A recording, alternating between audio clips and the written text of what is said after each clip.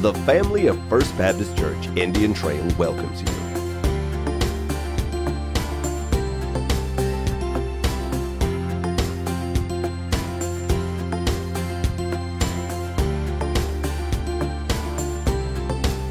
Join with Senior Pastor Dr. Mike Whitson as we present Decision for Life.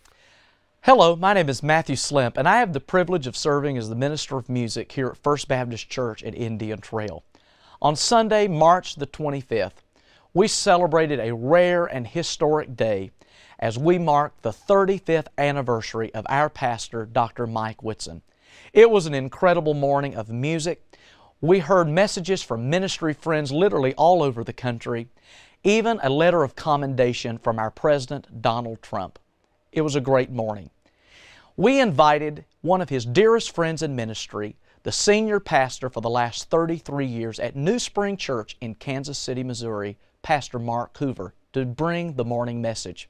I hope you will enjoy it as much as we did as you continue to watch Decision for Life. Thank you so much for tuning in today. If you're ever in our area and don't have a place of worship for you and your family, join us here at First Baptist Indian Trail at 8, 9:30 or 11. Again, thank you for watching.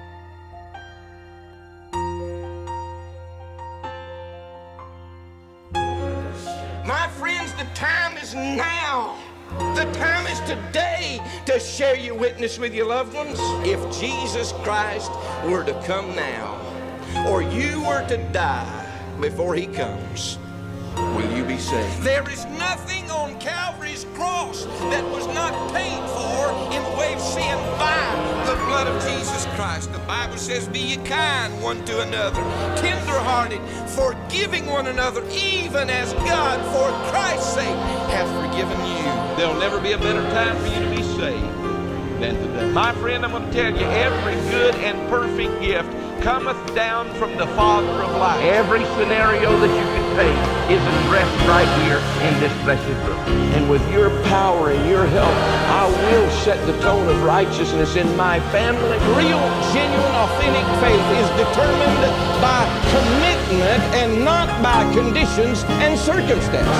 He wants to put that in the past so he can pour into you himself so you can be everything tomorrow that he wants you to be. You forgive your sin you'll change your life. Our drive ought to be, God, want to be with you. God has remembered his promise. The Bible says, heaven and earth will pass away. My word will endure forever. I've said all of that to say this. Christ is superior. He's King of kings.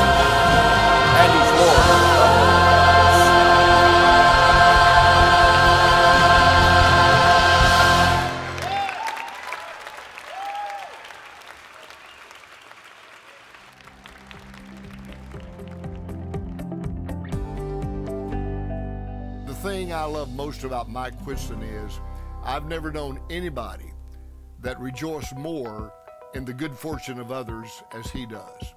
He doesn't cheer for himself, he cheers for other people. And uh, God bless him for that. You know, I've seen many times where people excuse their bad actions on their background, on what happened to them as a child.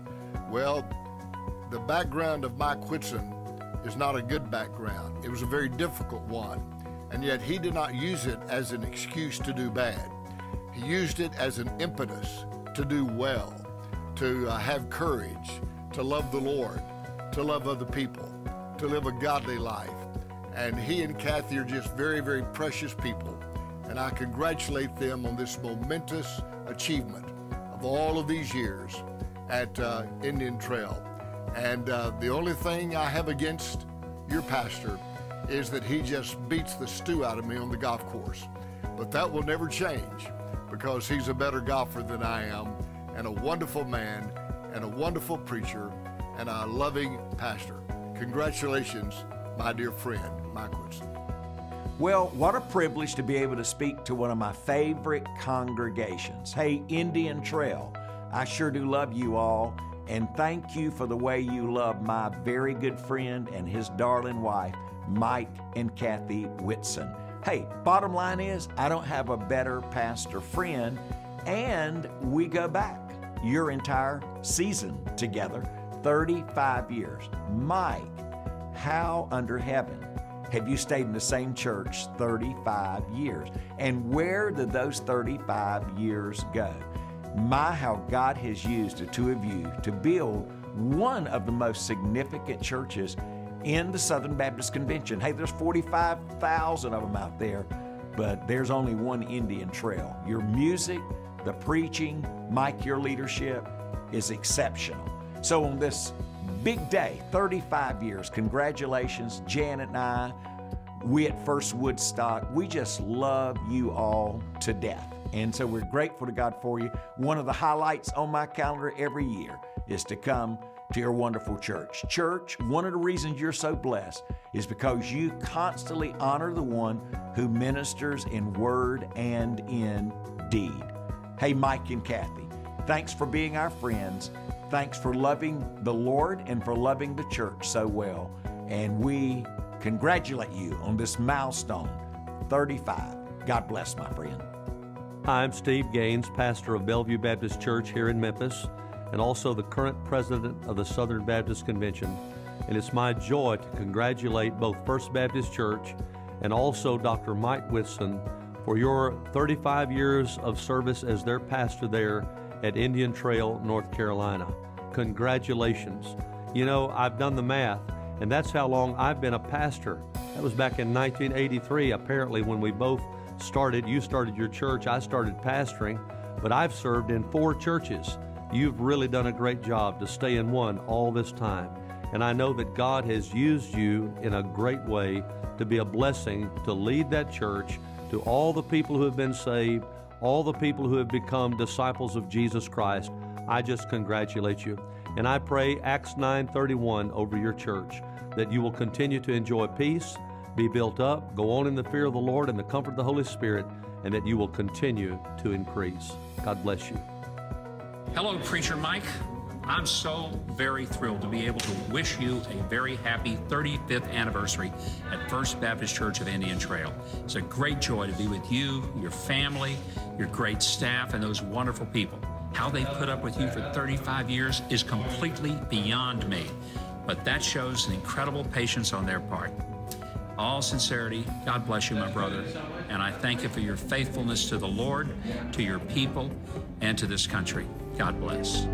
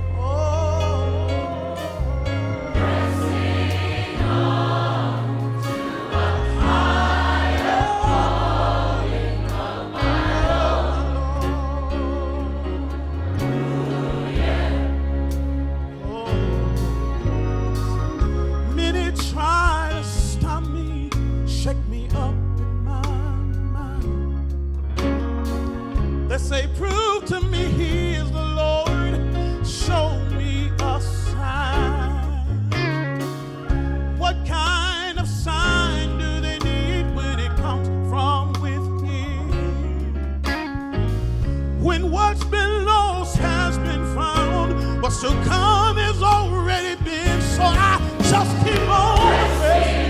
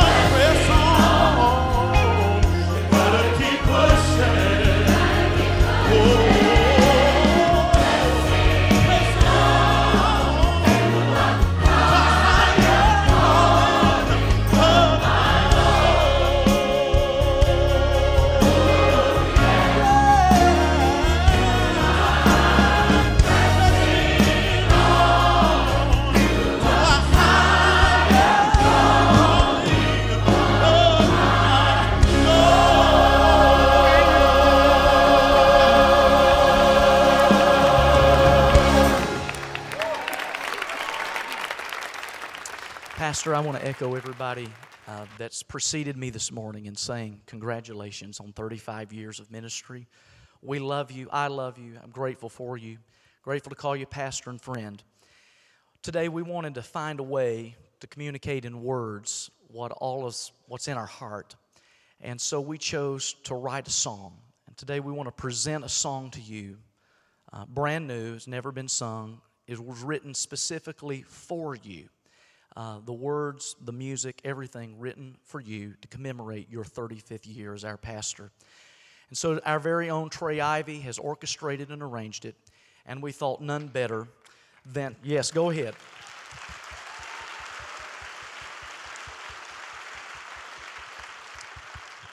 We thought no better person than gospel music songwriter of the year for the past 20 years, Brother Rodney Griffin of Greater Vision, to compose the lyrics, and he has a special message for you. Hi, Brother Mike and First Baptist family. Rodney Griffin here with Greater Vision.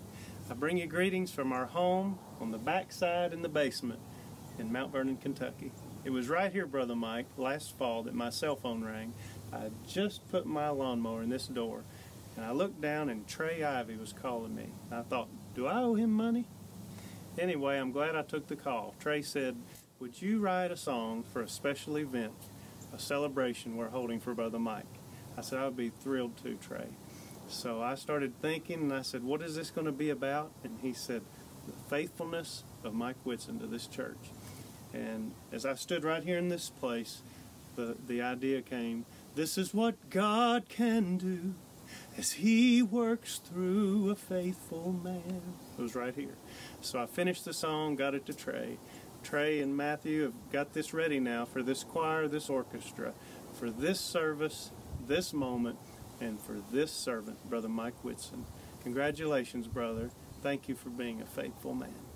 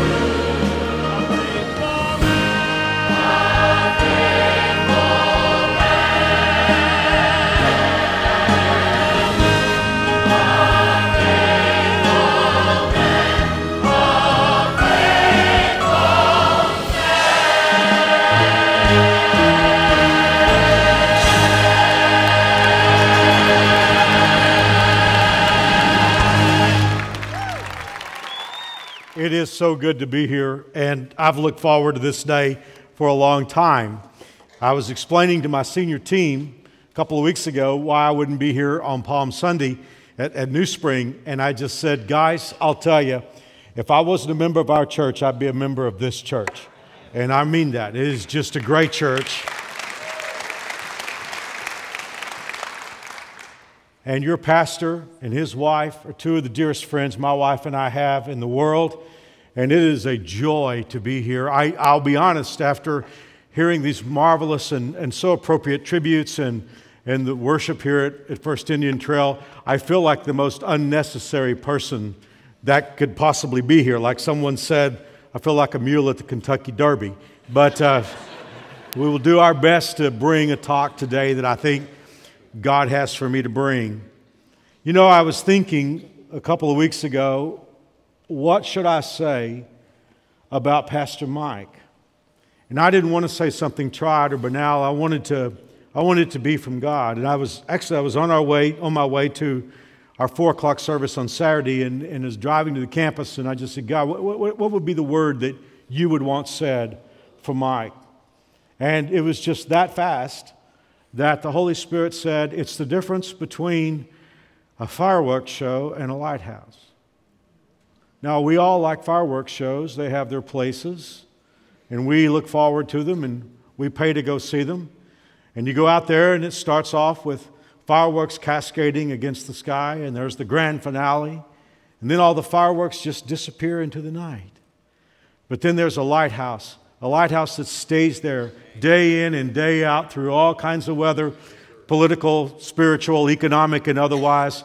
There's that lighthouse that stands there and, and shines out a light in the ocean. And you guys know about that here in North Carolina because some of the most dangerous waters in the world are in your state, right off the coastline. It's called the graveyard of the Atlantic. And there are so many ships that lie there under the seas storms, rough seas, numerous shoals, fog. All that conspires to make the water off Cape Hatteras, some of the most dangerous water in the world. But there, standing above the harbor, is one of the most well known landmarks in the world, and that is the lighthouse at Cape Hatteras.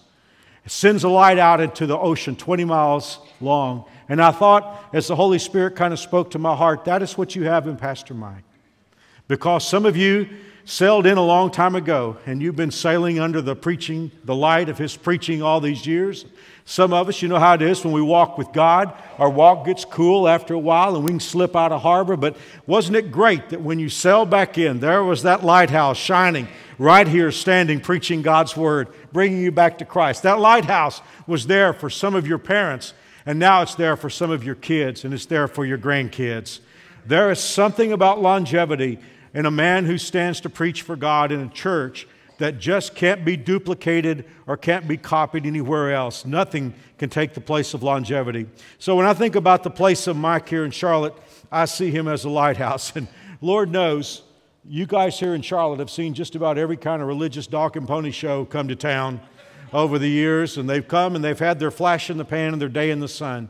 But Mike stands here as a lighthouse, and I cannot tell you how humbled I am and honored just to be able to be in your presence on this day to honor Mike and Kathy. It's also a joy to have my wife, Mary Alice. We met in high school in Texas, in Fort Worth, Texas. Uh, I was 16, she was 14, so we've been walking around together for a long time. We went to college together. In fact, we were on our way to chapel one day, and I told Mary Alice, I'll go anywhere God sends me except to Kansas. And that's. Uh, Today, when I speak in seminaries, you know, some young third year theologue will come up to me and say, I'll go anywhere God sends me except to Maui. And I said, No, you got to mean it. It doesn't work that way. But uh, I do know this I've been so blessed to have the greatest wife in the world, and, and I could not have been what God has allowed me to be without Mary Alice. And I will just tell you this your pastor, as wonderful he is, as he is, he's like me. He married over his head. Would you agree with me that Kathy is a first round draft choice?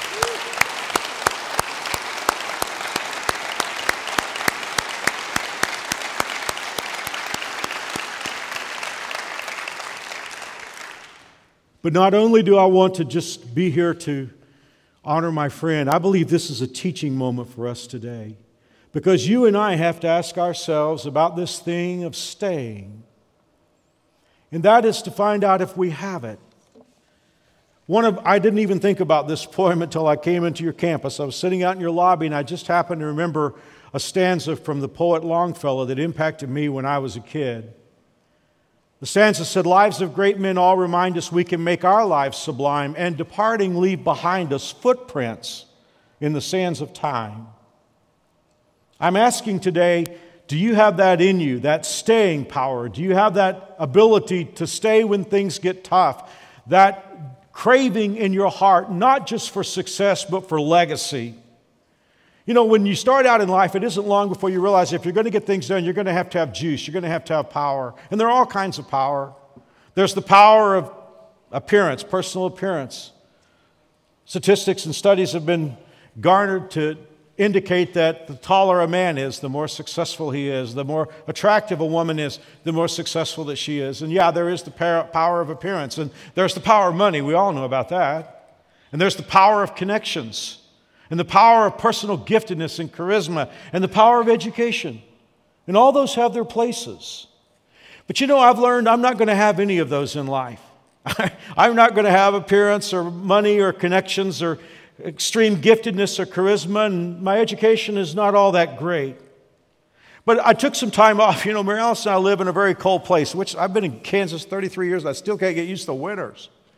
They're just cold. So I'm always looking for some place to go in January. So we took a week off and went to Palm Springs. And I sat out there in the desert and I had an opportunity to read some. And I just reading, was just reading history, and I was amazed as I read about great American men and women who have led us to great heights.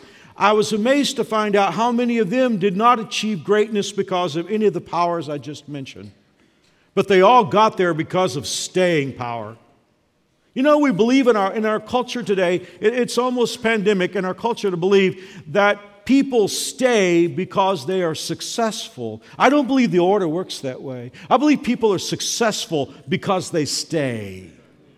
Before there was Zig Ziglar, there was Charles Tremendous Jones. He was a great motivational speaker. And I heard him speak when he was late in life. And he said this he'd been married six, over 60 years at that time. And he said that people would come after, up after he spoke and say, You must, you must, you and your wife must really love each other to stay together 60 years. And he said something that caught my attention. He said, We didn't stay together because we loved each other. He said, We love each other because we stayed together. And so today I want to talk about staying power. But before we get into the meat of the message today, I just want to make the point that all of us, whenever we go into any kind of endeavor that's important, there are going to be phases of that endeavor. I mean, whether you're talking about dating, you're talking about marriage, or child rearing, or serving out a ministry for God, or career, whatever you're talking about, there are stages to that. The first stage is romance. Romance is when everything is wonderful, it's just great. I mean, wow, I can't believe I got this job. Wow, I can't believe that she's going to marry me. Wow, isn't it great to hold this newborn? There's the romantic, romantic stage. But then it goes into ordinariness. After a while, it just becomes, you know, the house that you were so excited about is just the house. And the job that you were euphoric that you got hired for, it's just the job. It's just the rat race now. And that woman that you were so excited that would even date you, it's like she's just my wife. That's the ordinariness phase. And then it goes from romance to ordinariness to difficult. And a lot of people will check out here. You know, I especially think about child rearing. You know, our, our church, we're opening a new nursery today, a new nursery complex. It's a $3 million nursery. Last year we had 500 babies for Easter. And so today we're opening the new complex. Our median age at New Spring is 29. So I'm always talking to new parents. And they'll, they'll, they're so excited. Oh, Mark, we're pregnant. We're going to have a baby. You know, it was so great. We always wanted a baby. And I'm like, well, I hope you wanted a teenager. Because that's what they grow up to be. You know, Mark Twain said, when a boy turns 13, put him in a box with a hole big enough to breathe. Said when he turns 17, plug up the hole. Now, what's he saying? He's just saying that it gets difficult. And by the way, all the teens listening to this would say it's not easy to be the teen of a parent with a teen. But there's ordinariness and then difficulty and then seeming impossibility. You know what? Those faces that I just described will claim most people. But here is the deal, and if there's one thing that we learn from the scripture and the lives of great Christian leaders, we learn this that when you stay around for the harvest, the harvest makes all of those difficult stages make sense. And that's why today, on this day that we honor Mike and Kathy, I want to talk to you about staying power. Over the years, God has taught me seven facts about staying power. And this, this is not something I read in a book somewhere. These are just truths that God taught me staying through the difficult seasons of life. And today I want to share them with you. Now, I would get nervous if it's 13 minutes before noon and the pastor just had, he said he had seven points. But we'll, I'm going to get on my horse and ride. So here we go. Here's number one The essence of staying power is integrity. Listen, guys, when I think about Mike Whitson, I'll tell you what I think about instantly. I think about the word real. Listen, there are a lot of preachers, there are a lot of pastors, and I, I, appreciate those who are serving God, but I'll just tell you this there are a handful of men of God, and Mike is real. He's real, whether, you know, uh, we, we've been together in suits and we've been together in flip flops, you know, and cutoffs, but he's the same person all the time. And guys, if you want to have staying power in your life, you have to be real. I was thinking about in the old days, especially in rural America, there were the carnivals that would come to town and the hawkers that would be selling magic elixir. And there were the magic shows with the magicians doing their tricks. Let me ask you a question. What did the carnivals and the magic shows always do?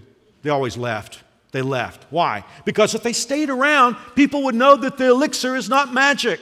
And if they stayed around, it wouldn't be long before they would see through the tricks and nobody would want to see the show anymore. And that's just how it is in life. There was a statement that I wrote for today's message, and I want to just read it to you word for word because I felt like God really gave it to me to give to you. Integrity stands the test of time and the rigors of examination. One more time integrity stands the test of time and the rigors of examination or scrutiny. We know just a week or so ago there was a tragic collapse of a bridge in Florida, pedestrian bridge, supposed to be the latest in technology. They hadn't even opened it yet. They were testing it out. And one of the engineers testing it discovered cracks on one end of the bridge. But here was his tragic word to his supervisors. He said, There are cracks, but I don't think it's going to be a problem. Listen, guys, in 2018, postmodern America, that is almost the, the mantra of our culture today. There are cracks, but it's not going to be a problem. Listen, guys, I will tell you if there are cracks in our integrity, there is going to be a problem. We know by statistics that pastors tend to move. In fact, this is the national average, I guess, somewhere between three and four years into their tenure. And I'm sure there are legitimate reasons for moving from place to place. But at the end of the day, and guys, I'll just tell you if there's one thing I know in life, I know pastors. I'm at my church 33 years. My dad was at the same church for 50 years. I'm 61 years old. I don't know how I got here. Must not have been looking. But I will tell you this every day of my life has been in a pastor's home. Started pastoring when I was 20. If there's one thing I know, I know pastors. And I talk to pastors all over the country, and here's what I discover a lot of guys move because they've preached all their sermons, they've told all their stories. They move because they've done what they do and they need to go someplace else to start all over again. Your pastor, on the other hand, has walked with God. He has gotten words from God. I mean, listen, guys, he was this is inside the cup stuff. You know, uh, I, I, was talking to Mike. First question preachers always ask each other, What are you preaching right now? And Mike was sharing with me what he's preaching through in 1 Timothy and how that the Word of God, you know, here's the deal. A guy like that doesn't just whip up a sermon. He gets before God, and God gets in his ear and in his heart, and then the Word comes out to you. That's what it takes to stay. And that's what you and I need because we need integrity if we're going to be able to stay. By the way, wearing a mask is hard work. I don't think you'll ever carry anything heavier in your life than carrying a mask. You know, if you wear a mask, and, and, and you know, we were pressured to do that. It's not that you and, you and I are bad people if we wear a mask. It's just that everybody wants to cram us into their mold. And some of us have tried to be so many people to so many people, we don't even know who we are anymore. You know, there, there are a couple of dangers in wearing a mask. The first one is you can be found out. You guys are all too young to remember a show called Andy Griffith. But there was a deputy on Andy Griffith named Barney Fife. And you know what I'm going to say already? You know, Barney was always trying to pretend he was something he wasn't. He was always stepping in it, and we laugh at him. Why? Because he got found out. But I'll tell you something worse. There's something worse than wearing a mask and being found out, and that's wearing a mask and being successful. Because if you wear a mask and you pull off the charade, you got to wear it the rest of your life. Here's the thing I know about you today. If you're wearing a mask and you're pretending to be something that you're not, I know you're exhausted. You're tired because you're just one step ahead of the hounds.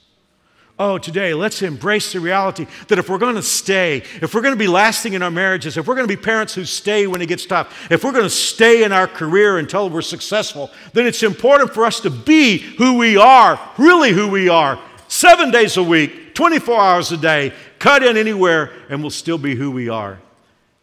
Integrity is the essence of staying power. Here's number two any truly worthwhile quest will present you with a quit now moment.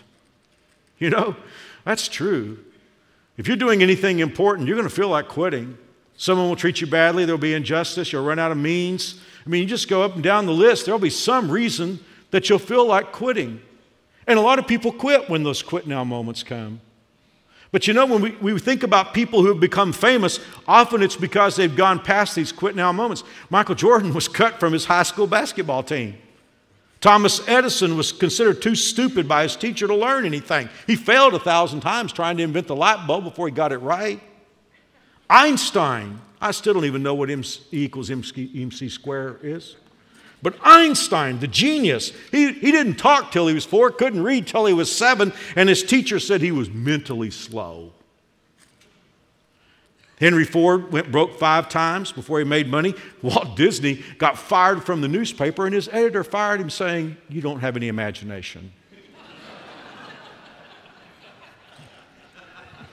the Beatles were told by, by, by Decca Records they didn't like their sound, and bands with guitars are going out anyway. I mean, just, just look up and down the history of our world, and you'll discover that some of the most successful people are people who had quit now moments, but they kept going. How much more important is it for us who are followers of Jesus Christ? The Bible has said that God is with us no matter what. Any truly worthwhile quest will present you with a quit now moment. But number three, a life of quitting early will leave you with an inventory of unfinished business. You ever see somebody just hop from marriage to marriage, hop from relationship to relationship, hop from job to job, hop from friendship to friendship to friendship, hop from ministry to ministry? You know the sad thing that I think about when I think about those people? All they ever have is the beginning. They never stay around to see the completion. Again, you guys are too young to remember this, but when I was growing up in Texas, um, I used to want a set of encyclopedias. For all of you under 40, we used to read something called books, actual books. They had like covers and spines and paper pages. But uh, what I really wanted was a set of encyclopedias. But we didn't have the money. So, uh, in those days, grocery stores would sell sets of encyclopedias, one volume at a time. They wanted to keep coming back every week. So, every week they would launch a new volume. And the first volume they would always sell for 49 cents, but the other volumes were like three, four, five dollars a piece. I never had the money to buy the B volume through the rest of the alphabet. But I promise you, if you could have gotten into my bookshelf after the years passed, I had a whole bookshelf of A volumes. If man, if the teacher gave an assignment that started with A, I was ready to go. Now listen, guys, I'll tell you something. In pastoring for 40 years, pastoring my church 33 years, I, have seen people that all they have is a shelf of A volumes. They start and stop, start and stop, start and stop. So the thing about quitting early, it will leave you with an inventory of unfinished business. Now let's go to number four. Anytime you try to do something worthwhile, especially if it's for God, you're going to have opposition. Scripture tells us over and over that Satan is the power behind this world system. So the moment you step out to do anything great for God, raise your kids to follow God, the moment you set out to have a godly marriage, the moment you decide to volunteer here at First Indian Trail to do a ministry, the moment you join the worship team, the moment you do anything that's good and important and transcendent, you're going to get opposition. And that opposition is going to take the form of people. You're going to have people that are against you. And you know what you want to say? You want to say, Isn't this hard enough without having somebody give me trouble? Now, this is really important. When that moment comes, and Pastor Mike has, I'm sure, been there many times because he's led this church through so many seasons of growth and expansion and outreach. I'm sure through the years there have been people who stood up to stand against him, and some probably have broken his heart. And here's the thing at that moment, if we're not cautious, mission creep can happen.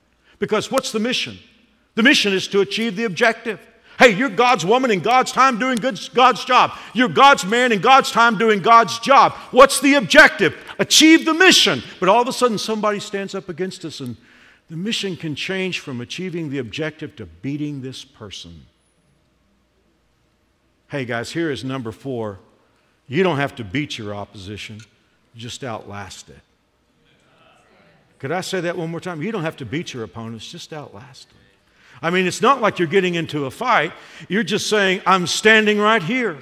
Listen to the word of God in Ephesians chapter 6 and verse 12. The Bible says we're not fighting against human beings, but against wicked spiritual forces in the heavenly world. And then in 2 Corinthians 10, verse 4, the Bible says the weapons that we fight with are not the weapons of the world. On the contrary, they have divine power to demolish strongholds. Now, I want you to think about this as a set of brackets. The front bracket is what we saw first. We don't fight against people. Are you, are, you, are you saved? Are you a follower of Jesus Christ today? Then you don't, have any, you don't have any enemies who are people. None of your enemies are people. If you're a follower of Jesus Christ, you do not have a single person that you're against. Because the Bible says we don't wrestle with flesh and blood we understand that there's bigger, bigger enemies out there. Our enemies are spiritual demons. And, and so, consequently, we understand that if people begin to stand up against us, I'm not fighting against the people, I'm a follower of Jesus Christ. I have no enemies who are people. Then the second thing that we learn, the second bracket is the weapons of our warfare are not carnal. They're not earthly weapons. See, I'm fighting spiritual enemies in the, in, in, in the heavens that are demonic in nature, and, but, uh, but I'm not fighting with earthly weapons. I'm not fighting with sarcasm and getting even and, and anger and temper and rage. And I'm not fighting with, you know what, I'm going to do it to you before you do it to me. I'm not fighting that way. Those are the weapons the world fights with. We don't, we're not relegated to those. The Bible tells us we don't fight against people, and our weapons are not human. We got weapons like the Word of God. We have weapons like prayer. We have weapons like love. We have weapons like obeying God when everything else doesn't seem to make any sense. Hey, we don't fight against people, but our weapons are mighty through God. And this is what the Bible says to the pulling down of strongholds. And this is, let me, t- this is, this is why this is so essential in 2018 today. The word stronghold there means a pervasive universally believed lie that Satan has promulgated. Wow, we need that today, don't we?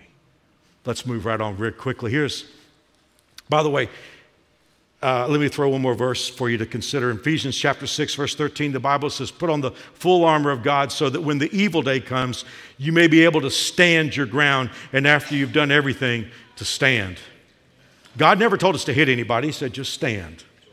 And when the enemy comes, the op- when you have opponents come, you remember my, my enemy's not my mother in law, it's not my kids, it's not my next door neighbor, it's not somebody else at church, it's not someone else in, you know, that I'm angry at at work. Our opposition is Satan, and the challenge is to stand. I wrote this down because I thought to myself, I've had to remind myself time and time again to say this I'm not going to hit back, but I'm not going to move. Do what you want to do to me, but by the grace of God, I'm going to stand right here. You come back tomorrow, I'm going to be standing right here. You come back a week from now, I'm going to be standing right here. You come back six months from now, I'm going to be standing right here. Come back a year from now, and I'm going to be standing right here. I'm not going to hit back, but I'm not going to move. And if I go down, I'm going to go down standing right here. Number five battles are won at moments that don't feel like victories. Now, listen, listen. This is you talk about people quitting early. This is one of the main reasons people quit early. They don't realize that there's a tipping point, and that tipping point won't usually feel real good. You know, we, we, we tend to think that the victory's going to come. We're going to wake up one morning, we're going to feel really great, and the, you know, the birds are going to be singing, and the sky's going to look different. I'm just going to wake up and know that I have victory. It doesn't usually happen that way. See, victory is had by holding on when things are tough, and a lot of times the battle is won and it doesn't feel like a victory. I don't even know how to preach this today. Just maybe God's going to teach someone here today through His Holy Spirit. I'm from Texas, and uh, down there, there's a building everybody wants to see. Right down in the center of San Antonio, Bexar County, there's a little building called the Alamo. And everybody, when they come to Texas, they want to see it. I've been speaking in San Antonio, I've been on the elevator with people from other countries around the world. I didn't understand anything they were saying except I understood Alamo. Everybody wants to see it. Do you realize, do you realize the Alamo was a colossal defeat? 183 men fought in the Alamo, they all got killed. I mean, why in the world would everybody want to go to the Alamo? The truth of the matter is, there is a place where the Texas Army won an enormous victory and won independence. This is a little marsh out on the east side of Houston called San Jacinto. There's a monument there. But you know, I lived in Houston. My first church after I graduated from college was in Houston. We had a lot of people come see us. Nobody ever asked us to take them to San Jacinto. But everybody wants to see the Alamo. Why? Because battles are won at moments that don't feel like victory. At the Alamo, they bought time. They bought time for the army in San Jacinto to coalesce, and they were willing to stand there and give their lives in order to pay the price for victory. And that's what happens in your life and my life. A lot of times we'll look back in retrospect and say, wow, God was all over. What is it we say? It was a God thing. We didn't feel it at the moment, did we? Number five, battles are won at moments that don't feel like victory. Number six, quickly, in the endurance versus escape struggle, it's the vision of the payoff that tips the scales. In Galatians 6, verse 9, the Bible says, Let's not get tired of doing what is good. At just the right time, we will reap a harvest of blessing if we don't quit. This one, I'm finished. Number seven. Wow, if I've learned anything, I've learned this. We tend to overestimate our own strength and underestimate God's. Do you know why we have the quit now moments? At least this is how I have, why I have them. I'll look at the objective I look at the mountain and I turn around and I look at my resources and I say to myself, I don't think I have it in me. I don't think I can stay another day. I don't think I can go another mile. I don't think I can take this abuse one more time. I, I, don't, think, I, don't, I don't think I have it in me. I don't have it in me. But therein lies the problem because at that very moment, I am overestimating Mark's strength and I'm underestimating God's. I grew up with a wonderful hymn, and probably a week doesn't go by that I don't think about one particular lyric from the hymn. It's the song He Giveth More Grace by Annie Johnson Flint. And I love this particular line when we have exhausted our store of endurance, when our strength has failed ere the day is half done. And this is my lyric when we reach the end of our hoarded resources, our Father's full giving has only begun. See what I'm saying? We tend to overestimate our own strength and underestimate God's. If I'm talking to somebody today and you just even in the service today, I've had people come tell me the sermon is for me.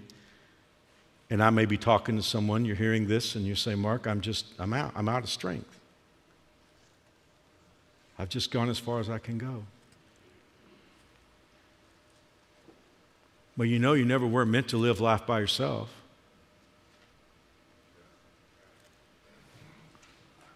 He was 33 years old. He was a millionaire. He was an insurance executive.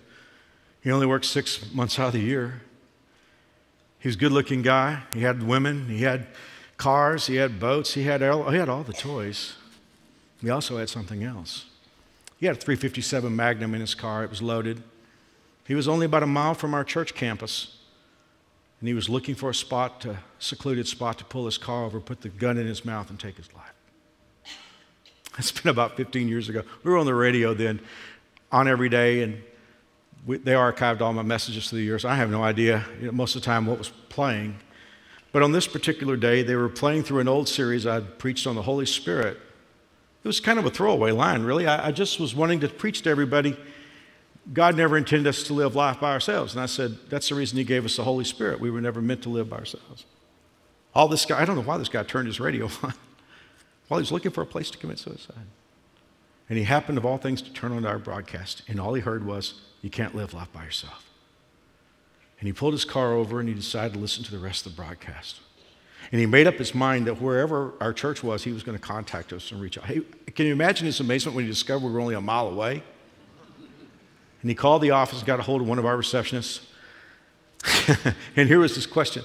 He said, uh, Is this a church with a pastor who says you can't live life by yourself? The receptionist said, Well, sounds like my pastor. He said, Is there any way I can see him? She said, I don't know. He's kind of hard to see, and there's no appointment. But she said, I'll tell you what. She could tell he was distraught. She said, I'll, I'll, I'll call him. Stay on the line here, and I'll call him. If she called me on my cell phone, and by the grace of God, I was like a mile away. And I came up to the church, and we sat in my office, and he told the story as I've kind of shared it with you. And I said to him, Hey, listen, there's wonderful news. There is something that your money can't buy. God loves you with all his love, and he sent his son into the world to live the life that you can't live. He pinch hit for you, pinch ran, and then he turned around and laid his life down on a cross, and the blood that came out of his body, the way God saw it, it was currency that paid for everything you've ever done wrong. And if you'd be willing to invite Jesus Christ into your life, God would forgive you of all your sins and he'd give you a reason to live. And he knelt down by my coffee table. I still remember that day. He knelt down by my coffee table and he prayed and he gave his life to Christ. I baptized him a week later. A couple years later, he had to move back to Chicago for his business. In those days, I always was quoting Lincoln. And so he came into my office the day before he left and he said, Pastor, I want to leave you something. He said, I was at an auction. He, I, it's the most expensive antique I have. It's, anyway, it's beautiful. He came into my office and he said, I was at an auction and I thought about you and I couldn't pass this up. He said, I want you to have this in your office. So every day when you look at it, you won't forget the guy who was going to take his life. But he stopped because he found out you can't live life by yourself. Some of you are about to quit because you're trying to do it by yourself. You say, Well, Mark, you don't understand. I, am not like Pastor Mike. I, I, I've got the hiccups and the starts and the stops, and I've made such a mess of things. Oh, I think that's one of Satan's biggest tricks to get you to quit. I've made such a mess of things.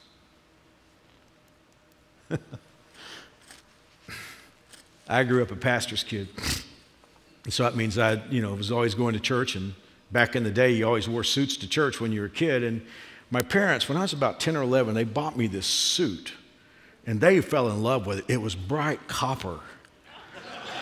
I mean, you just had to be there in the late 60s. I'm just telling you. It was bright copper. When the sun shone down, it just light up the west side of Fort Worth. And every time I wore that suit, my dad was just crazy about that suit. But we had dinner on the ground after church one day, and I spilled apple pie all over the front of it. I mean, just caked it up with apple pie. And I knew how much my dad loved the suit, so I, I was too ashamed to tell him, so I hung it in the back of the closet. And dad would say, Where's the suit? And I'd say, Well, I don't know. I just felt like wearing green today. And after a while, he kept asking. I thought he's going to go in there and look. So I took the suit and I rumpled it all up and I crammed it in the back of a dresser drawer. And dad would say, Where's the suit? And I'd say, Well, you know, I'm just going to wear something different today. But after a couple of months, the guilt just got to me. And I took that rumpled, not, not just apple pie cake suit, but now this suit that's been crammed into the drawer. And I took it to dad and I said, Dad, I'm sorry. I ruined the suit. Dad looked at it and said, That's no problem. Well, let's take it to the dry cleaners. I didn't even know about dry cleaners. Dad said, That's not a problem. We'll take it to the dry cleaners. He did. I mean, a couple days came back, hung up, looked brand new. Now, here's the thing a lot of us feel like we got to quit because we made such a mess of things. And then we've stuffed our life in the back of the drawer.